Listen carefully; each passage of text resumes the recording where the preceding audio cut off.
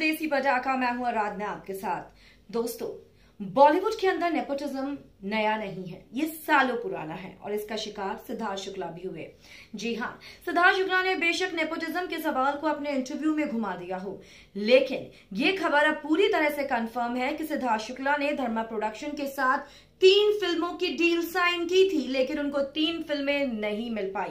और मैं इतनी शोटी से कैसे कह रही हूँ ये बात? क्योंकि खुद सिद्धार्थ शुक्ला ने कपिल शर्मा के शो में इस बात का खुलासा करा था जब उनसे एक ऑडियंस में बैठे हुए डीजे ने पूछा कि आपकी तीन फ़िल्में हमको देखने को मिलने वाली है, वो कौन कौन सी हैं और कब आएँगी? तो सिद्धार्थ ने जवाब दिया था कि अभी एक आने वाली है तो आप वो देखिए, जब बाकी दो आएँगी तो मैं आप लोगों को ज़रूर बताऊँगा और यहाँ पर आकर प्रमोशन तो करूँगा ही करूँगा। मैंने उस वीडियो का लिंक डिस्क्रिप्शन में डाल दिया है, जिससे आप वो देख सकें।